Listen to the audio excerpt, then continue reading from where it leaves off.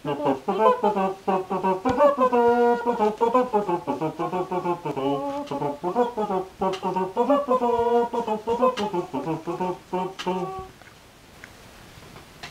igjen til julekalenderen. I dag har du tatt med deg en fin sang, Hilde. Det har jeg. Sangen heter 'Kjem du med håpet julenatt'.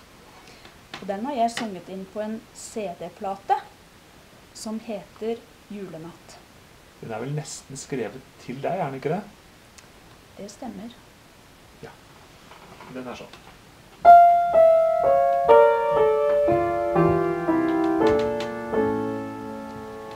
Kjem